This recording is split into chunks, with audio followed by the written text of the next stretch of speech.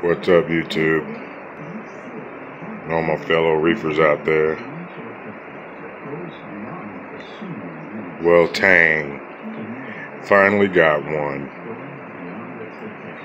It's actually a mimic Tang, juvenile.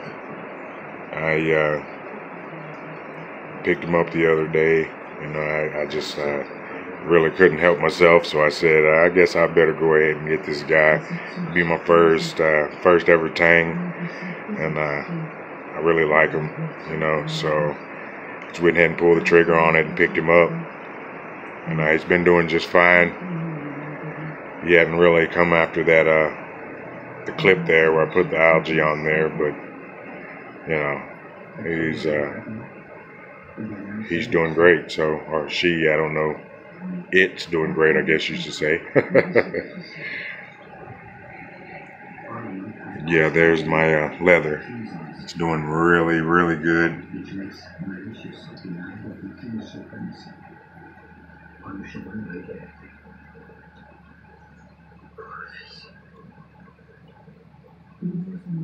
And yeah, just a quick little look at the uh, little fish I've just added.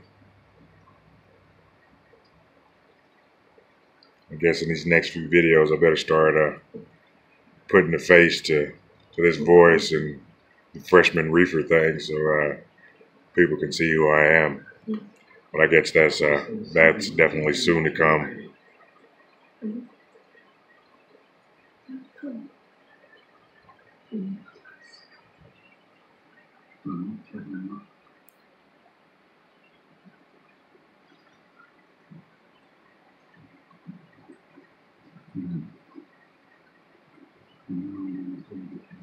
He's a little skinny, but I'm definitely gonna fatten this guy up, hopefully.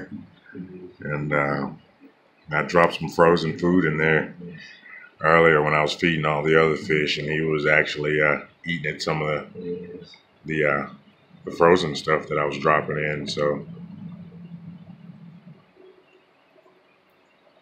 he's uh, pecking away. So hopefully this guy will stay happy